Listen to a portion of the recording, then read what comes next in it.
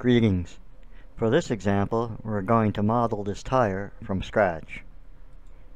It will be complete and ready for 3D printing by the end of this short video. You can apply the same workflow to texture any cylindrical shape. I prepared these two grayscale images in Photoshop, both at 800 by 800 pixels. The image on the left is for the tire thread, and the image on the right is for the side wall. The black areas will have zero displacement and the white areas will have full displacement, with the gray pixels falling proportionally somewhere in between. The edges were blurred on purpose to provide a slight rounding. Make sure your image maps are square. You'll see why in a moment. These image maps and the Blender project are available for download from my account on Thingiverse. Let's take a look at this diagram. For our workflow, we need to calculate how many times the thread image will be repeated around the circumference. This has to be a whole number, for there to be no seams and for the image map to make up perfectly. You need to use the dimensions from your shape to calculate n as 2 times pi times r divided by w. Round off n to the nearest integer and write it down. You'll need this value later. You can see how this works by looking at the diagram not, don't worry, it will all become clear shortly. Let's model the thread to start with a cylinder of radius r and a depth of 2 times pi times r divided by n. Now everything will work out perfectly seamless when we do the UV mapping a bit later. Let's do this for real now in Blender. Start by adding a cylinder with 128 vertices radius 5 centimeters, and a depth 2 times pi times 5 divided by 13, where 13 is the value for n for my tire shape, equal to 4 times pi rounded off. Note how you can enter the calculation directly into Blender without needing to use a calculator. Set the cap fill to none and clear the location. Hit tab to edit the cylinder. Make sure all vertices are selected. And assign them to a new vertex group named thread. This defines the region where the thread image will apply. Extrude the thread and scale it by 0.98 to begin forming the sidewall. Create another vertex group Name it sidewall and assign the selected vertices.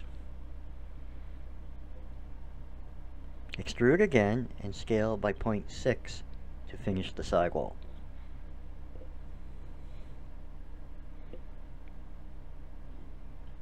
Now we need to increase the resolution. Use the loop cut and slide tool to add 10 cuts to the thread. Choose a cut value that creates a grid made of squares all the way around your shape. Repeat this for both sidewalls and for the inside surface.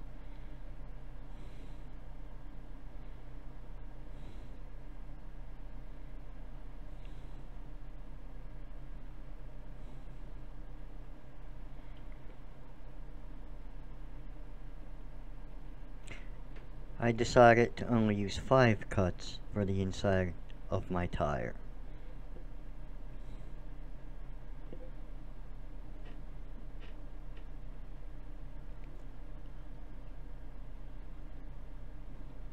Select less, lock the z-axis and scale by 1.5 to form the inner surface.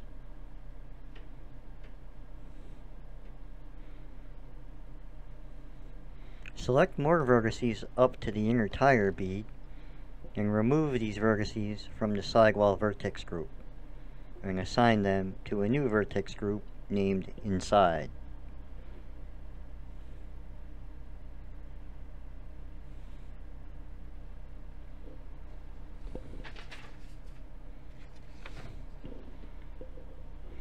Test to make sure your vertex groups are assigned properly.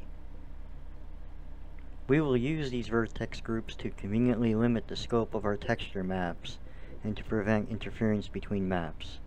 Now let's add a subdivision modifier set to about two subdivisions on the default Catmull Clark settings. Note how this kind of subdivision neatly rounds off square edges, so it was a good choice for this application. Next, we need to mark a seam. Select one of the radial edge loops, then click the Mark Seam button under UV Mapping. This will tell Blender where to cut the thread when we UV map in the next step. Split the workspace and bring up the UV image editor. Click Open and navigate to the location of your image maps. Select them. Click Open to load the images into Blender. Select the tire image for reference. Select the thread vertex group and click Unwrap Unwrap under UV Unmapping.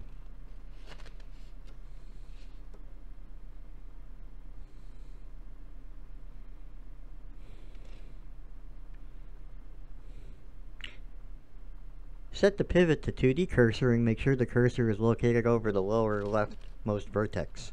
Scale by 13, the number we calculated for n. Next, select only the sidewall vertex group. And select the sidewall image map in the UV editor for reference. We'll need to unwrap each sidewall separately. Turn off depth buffer clipping so we can see through to the selected vertices. Deselect the lower sidewall and switch to top ortho view. Under UV mapping, click UV unwrap project from view bounds. Select the upper sidewall and switch to bottom ortho view. Under UV mapping, click Unwrap Project from View Bounds. Create a new material, name it Thread. And assign the thread image map to it.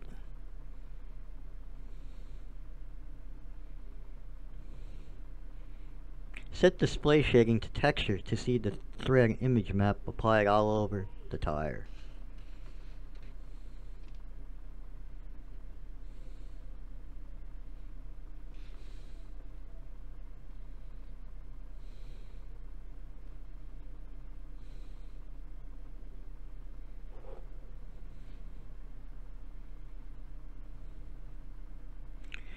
Create another material, assign it the sidewall image map, and name it sidewall.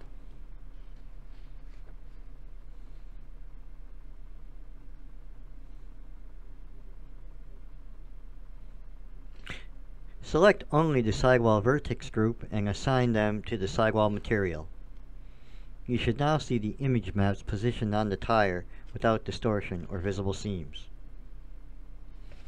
The only remaining step is to apply the displace modifier using our texture maps. Switch over to the modifier tab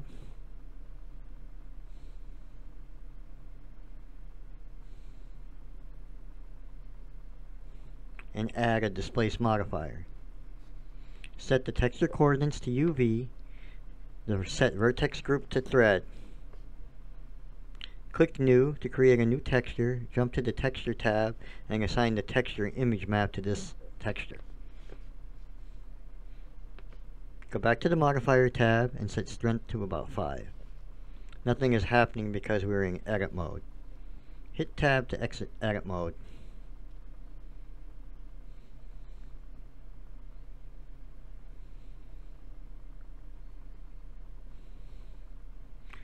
That's not right. The displacement is backwards. That just means our normals are flipped. Tab back into edit mode and choose Mesh Normals Recalculate Outside. Then tab back out to see the proper displacement. Copy the displace modifier to create one for the sidewall. Select the sidewall vertex group, jump over to the texture tab, and assign the sidewall image map to the texture. Jump back to the modifier tab and set strength to minus 1 for this modifier so the, the displacement goes inward and cuts out the sidewall detail. Increase subdivision until you're satisfied with the amount of detail and then add a decimate modifier with a factor of about 0.2 to 0.1 before exporting to STL. Let's do File, Save As, Save as Blender file. And now the changes we do from this point forward are going to be irreversible. So do Save As again, and increment the version number by 1. Save. The tire model is now suitable for exporting for DLP or SLA style printing. However, for FDM, the part would be difficult to print and it would work better if we bisected it and printed it in two parts so it could print flat on the build plate with a little bit of support around the bead. We'll use some scraps of filament as pins so that the two halves register perfectly together. Let's apply the modifier stack now. Start with the first modifier and work your way down the stack. It's important to go from top to bottom. Now let's decimate by about 0.1.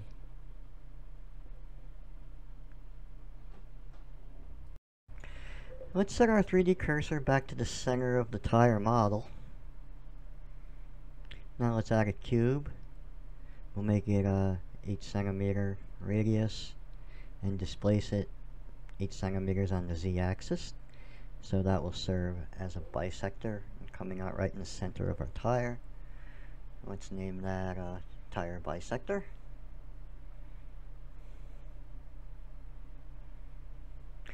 Now, cylinder is the tire. We, we never named that. Let's call that tire part A, since that's only going to be half the tire now.